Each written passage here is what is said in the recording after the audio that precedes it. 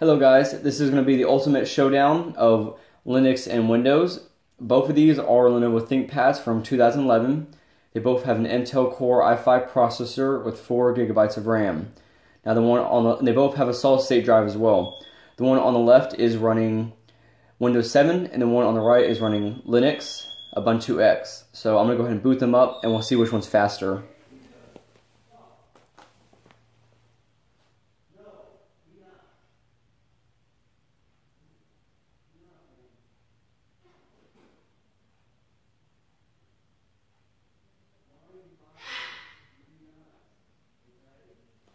We'll have to give the one on the right a couple extra seconds because the BIOS took longer.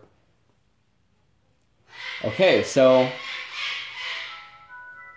Okay, yeah, so um, Ubuntu X was much faster than Windows, even though it hit the BIOS last. So let's go and shut them down.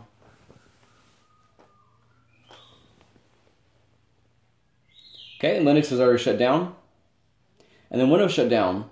So both of those were really fast on a solid state drive, but um, Linux was much faster, so which is no surprise there. Thank you for watching.